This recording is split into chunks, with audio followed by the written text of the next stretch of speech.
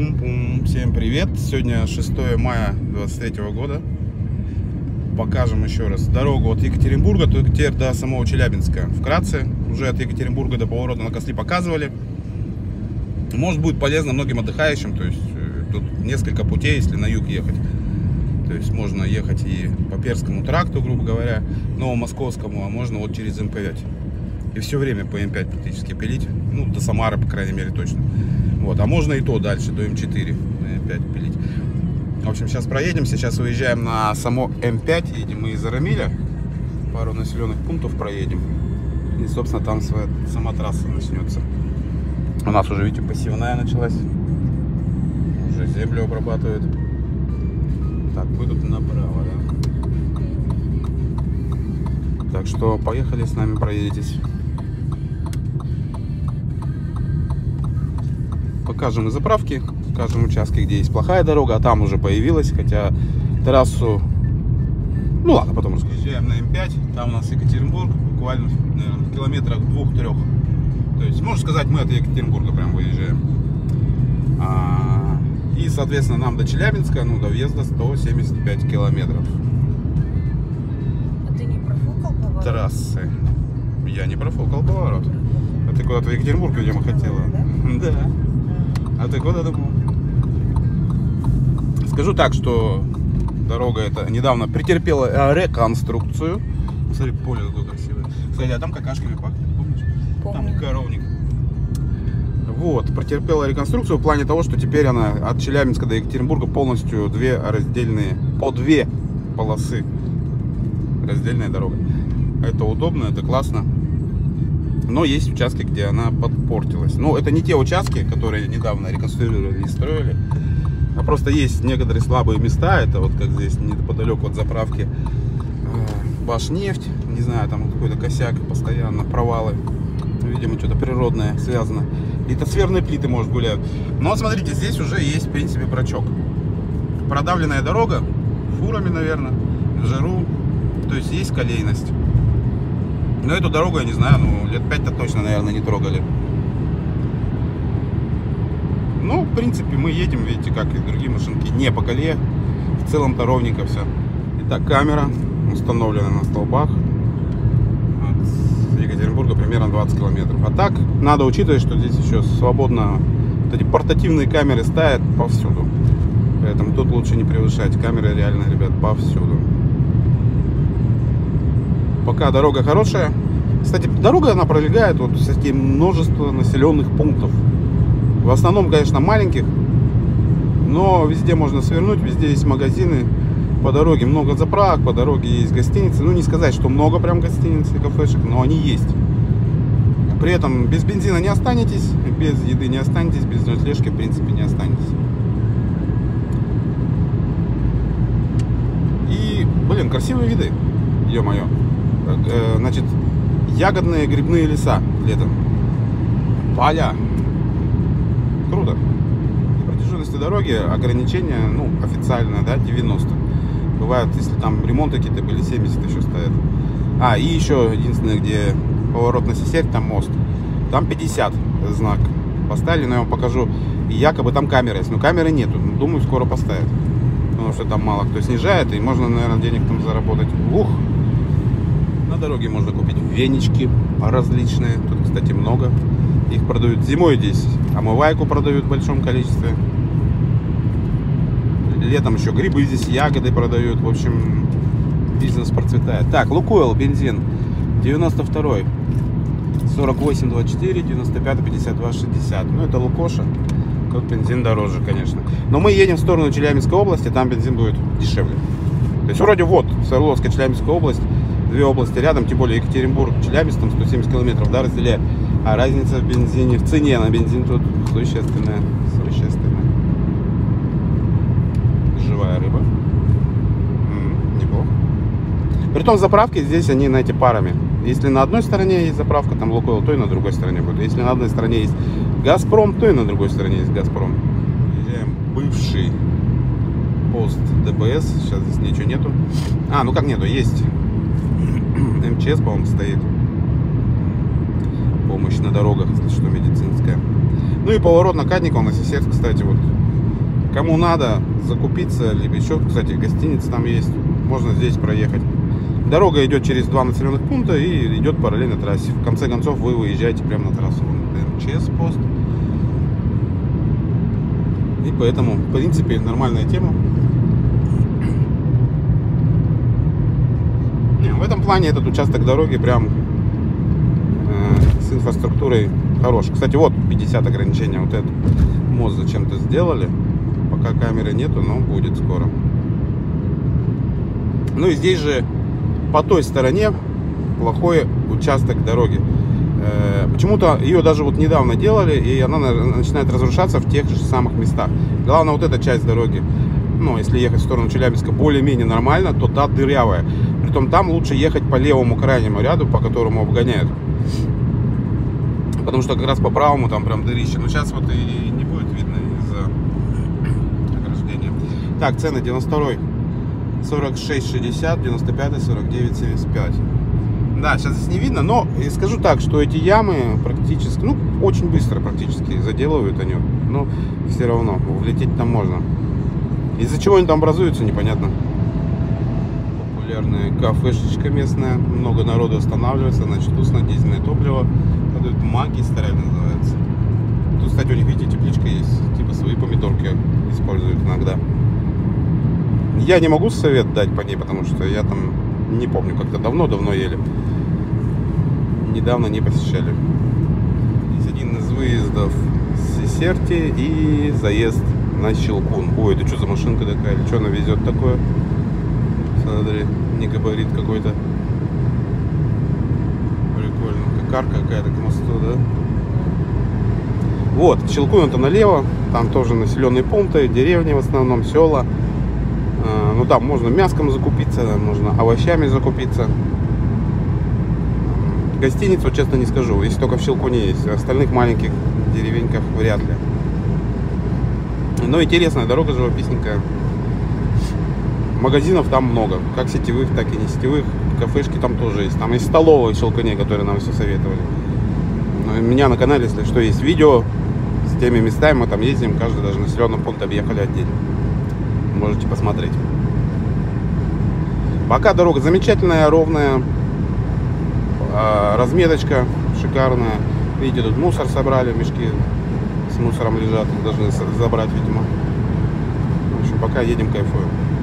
Уже 13 градусов, по 8 время. Днем обещают 24 градуса, но к 9 мая погода типа ухудшится. Притом, сейчас слышали, в Санкт-Петербурге якобы там снег аж выпадает, там еще что-то в Москве также мокрый обещают. В общем, пишите, какая у вас там погода. Очень интересно сейчас. Ну и мы уже потихонечку начали строить планы, куда поедем на юг. Пока рассматриваем Дагестан, Чечня проехать и Краснодарский край на Черное море искупаться. Пока. Но еще не знаем, что мы себе утвердим, так сказать. Кстати, есть развороты на этой дороге. Вот он один из них. Но, кстати, на этих разворотах иногда камеры стоят на скорость.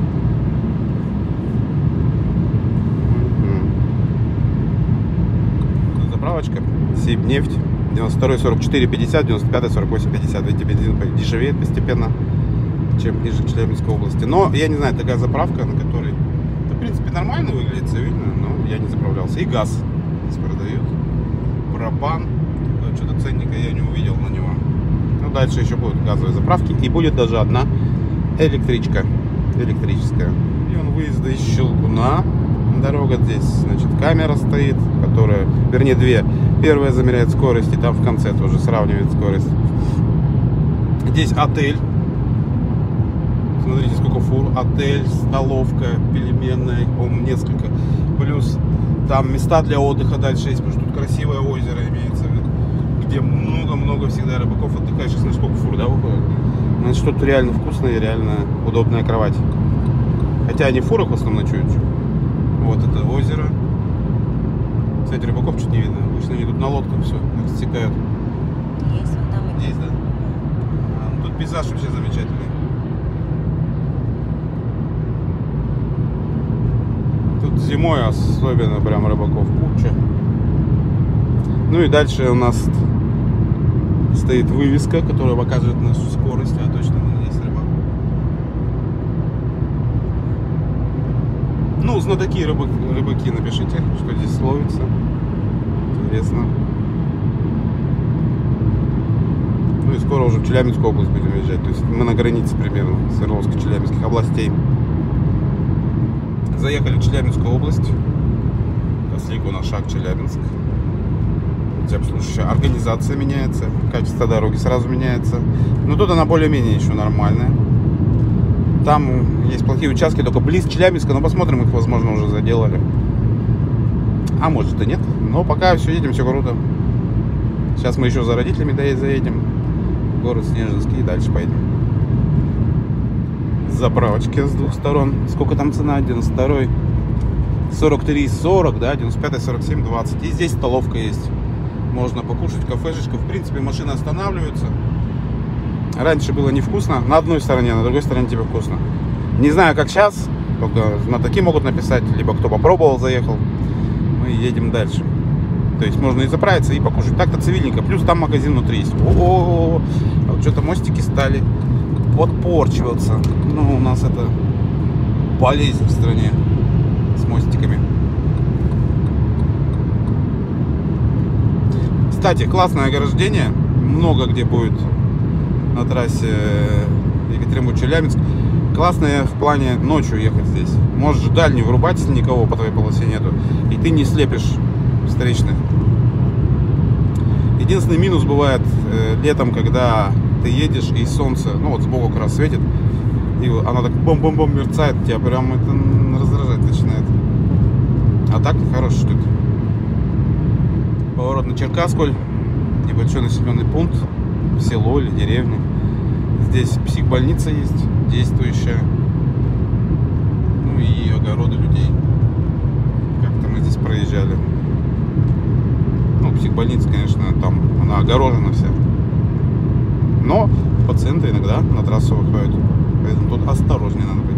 Заправки Лукойл. Это, кстати, излюбленное место гаишников. Тут постоянно стоит. Я удивлен, что сейчас не стоит еще. Ой, я цены не успею посмотреть, да? Из-за фуры это. 92, 46, 87, 95, сколько там, 51, 57.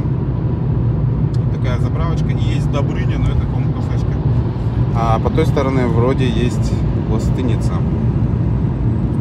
Вроде бы. А, не знаю, ну что-то построили. Мотель, да, написано есть, значит. В общем, с этих мест начинаются озерные темы. Места отдыха, много-много озер. Да, Челябинская область это тема. И горы, и озера, есть и равнины, есть, все есть. Красота. Езжаем поворот на Знаменку. Это рыбацкое место, видите, тут рыбацкий магазин. Можно купить все для рыбалки. Закупиться и сразу же там большой водоем, большое озеро. Ну, я так понял, тут мормыши еду, что ли, для рыбы.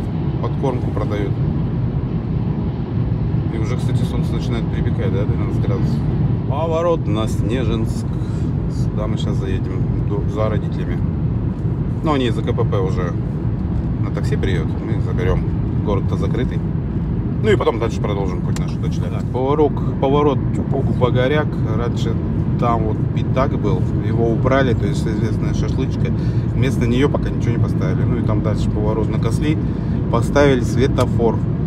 Теперь удобно стало. Пробок, надеюсь, этим летом уже не будет, потому что многие, кто ездит на озера, здесь много кто ездит на озера, раньше тупо в пробках стояли, потому что сюда повернуть не могли. Но сейчас с помощью светофора, думаю, ситуация изменится в лучшую сторону. Видите, поворот, табличка и поворот, и светофор. Заправка Газпром. Тут цены, кстати, уже меньше. 92, 44, 35, 95, 48, 25. И есть электрическая заправка здесь. Она автоматизирована, без диспетчеров. А на другой стороне с магазинчиком, но цены дороже. Но уже Челябинская область и цены снижаются метров 30 новый участок дороги, который в том году построили. И он прям очень ровный, хороший. Одно удовольствие. Так, сейчас знак заснимем вам. могли ориентироваться по карте. Челябинск, поворот на Карабулку, разворот на Екатеринбург. На трассе треноги не ставят, но тут постепенно все больше и больше таких на столбах камер. Кстати, тут плохо со связью, что МТС, что Мегафон а, плоховастенько ловят вот в этом районе. Ну, ближе к Челябинску уже будет лучше. Один километр до Челябинска. Дорога пока также хорошая. В принципе, без ям. Только уже все поле зелено. Здесь едем же на юг. Плюс 16 градусов. Градусы повышаются. Тут прям уже полноценные листья на деревьях. 50 километров до Челябинска. И тут я вот смотрю, вдалеке что-то фора там объезжала. Какие-то заплатки большие, видимо, плохие. Так, что, гонишь меня? Товарищ обгоняй.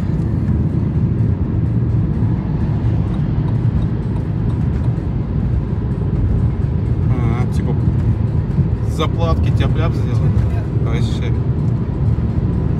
Понятно, почему обгоняют. Ну вот, первый участок. Ну, тот старый дороги. Это ее давно не делали.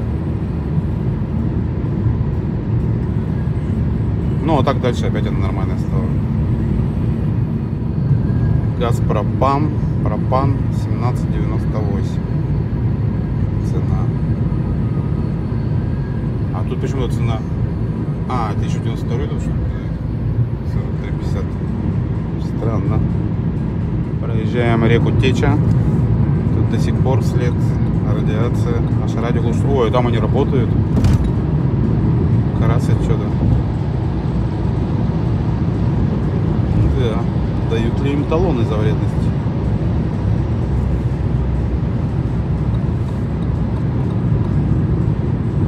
Так, 46 километров до Челябинска. Тут камеру установили. Ну и знак есть вот где-то на столбе она висит. А, вон на втором столбе. Ранее не было. На 90.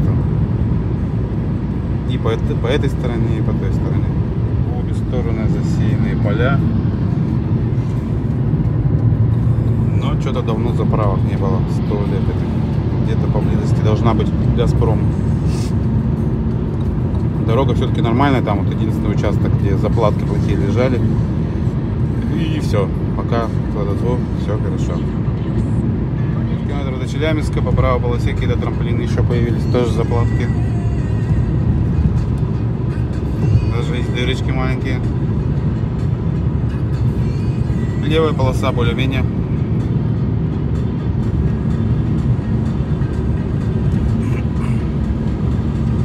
Да, видно, тут какой-то ремонт сделали, но, видимо, в том году и плохой. Ямочный.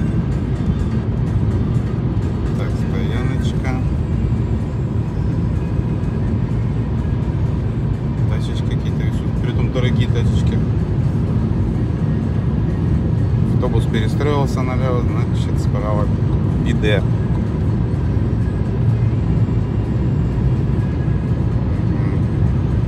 Ну да, еще один участок не очень дорогой.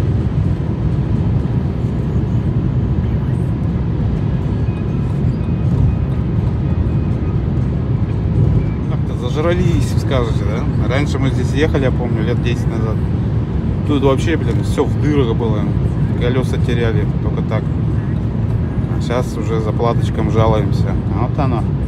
Привыкаешь хорошо. Так, заправочка Газпром нефть. 92 44 60, 95 49. Значит, с магазином, с таулетом, со стояночкой. И, по-моему, газик. А, нет. Что там, дизель, наверное, отдельно продается. Газик. Его знает. Ну ладно. Так, заправка Газпром, кстати, одна из немногих, которые ужасный туалет оказался. Ну, я сам не ходил, мне доложили двое участников, двое посетителей. Поэтому, видимо, на этой заправке не очень ухаживает в плане туалета. Но обычно Газпром все круто. Едем дальше. Плавный поворот. Тут, кстати, камеру установили на 70. Вот она где-то здесь. Кто-нибудь видит камеру? Ну, короче, она есть. Вы ее не видите, но она есть. И там дальше еще будет. Кстати, навигатор их знает, показывает. Раньше здесь не было, и раньше тут могли под 120 нестись люди на повороте. Но, кстати, поворот такой достаточно опасненький, затяжной. Где камера? Нету камеры? Ну вот сейчас будем ее проезжать. Где камера? А реально, где камера? Ребят, конкурс, найдите, где камера. А, вон камера. Висит. Да, он неправильно навигатор просто показывает. Вот они висят. И дальше за мостом еще камеру показывает. Да, тут понавесили. Понавесили, блин. Приближаемся к Челябинску. До него осталось, ну, грубо говоря, километров 6-7. Дорога здесь хорошая, но здесь тоже понаставили камер. А, Будет табличка въезда в Челябинск и надо будет ехать 60. Пропан 1740. Ну все, здесь уже заправки, поля, заводы, теплицы и так далее. То есть тут уже инфраструктура начинается рядом с Челябинском. Тут нет смысла снимать, дорога сама по качеству хорошая. Говорю, такое ограничение по скорости камер. Там у нас Макфа, который делает. Вот, поэтому на этом все. Уже вон с родителями едем. Спасибо, кто смотрел. Вот такой участок дороги на 6 мая 2023 года. Да, подписывайтесь на канал. Все обсуждения в комментариях. Всем удачи. Пока-пока. До связи.